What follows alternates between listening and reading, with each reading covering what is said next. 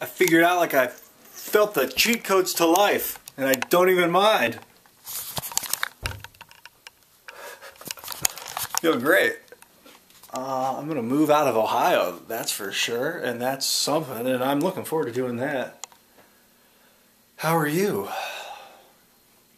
Have you ever felt like that? Like you figured out the cheat codes to life? Like have you ever played a video game and turned on the, uh, the cheat codes like infinite money and the game loses its challenge, but you can exploit it and you can figure out like everything about it. I feel like that about life sometimes. Like, you know, once I figured out about drinking water, like honestly, once I figured out how to digest food, like actively do it, like I'll if I have a stomach ache, I can like release the tension in my stomach and I feel I hear it digest, like you can feel it gurgle.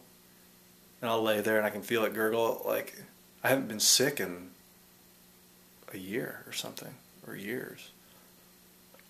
Like I'll be like, oh, I can feel myself getting sick, and I'll just heal it. Like I, I'll let the fluids flow properly. I'll fix my posture. I'll uh, rest, digest the food, drink some water.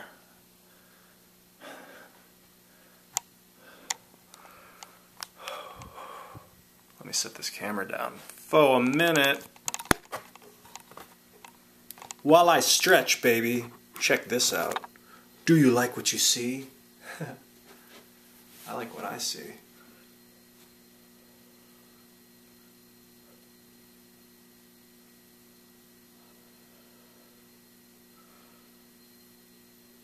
That's not even on me, is it?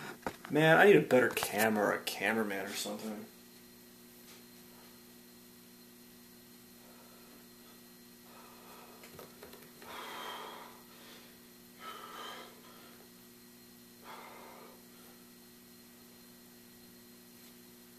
Like, here's one cheat code of life. If you can't touch your toes, touch your toes. Zing! Uh, another cheat code to life. Clear your mind so you can let new things in. That's another one.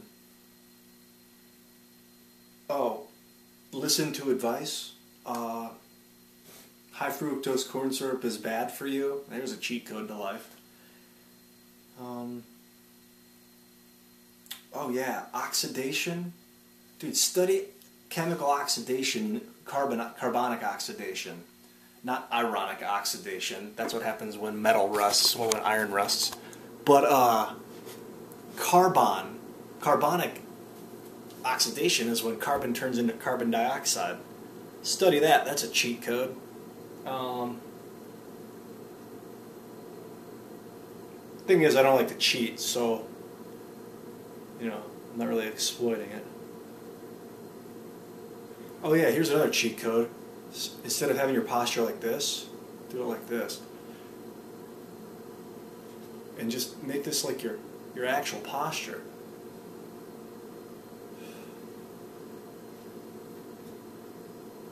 See the difference? You know, like, you know, this is, I, I was standing like this for so long, like shoulders forward, hunched almost. Then I realized Dominic told me like, no, you drop your shoulders back, and I'm been like experimenting with it.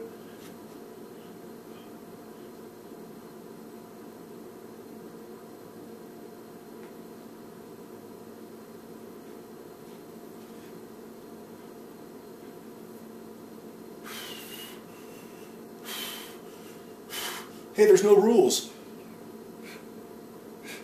Only self-imposed.